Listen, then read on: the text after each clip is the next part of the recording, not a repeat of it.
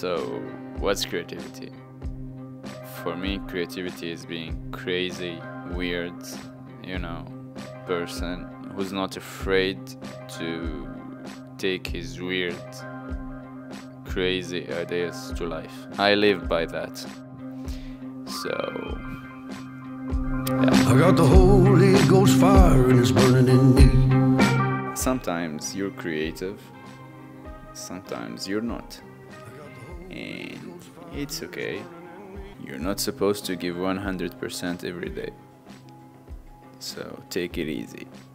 Have a nap. Got the Holy Ghost fire and I'm burning down these streets. Train your creative minds like you train your muscles.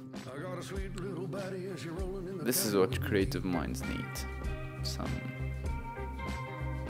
exercises. I got a sweet little baddie and she rolling a caddy with me. Creative stuff. As many creative stuff as possible. I got the Holy Ghost fire and it's burning in me. i don't know. Drawing designing doing music.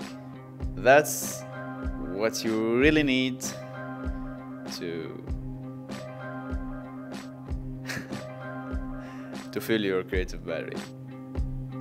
Yeah that's it Got the Holy Ghost fire and I'm burning down these streets. and I really wanna like have this kind of chit chat with you, make you like know knowing me better, and yeah, Let me down, sweet mama.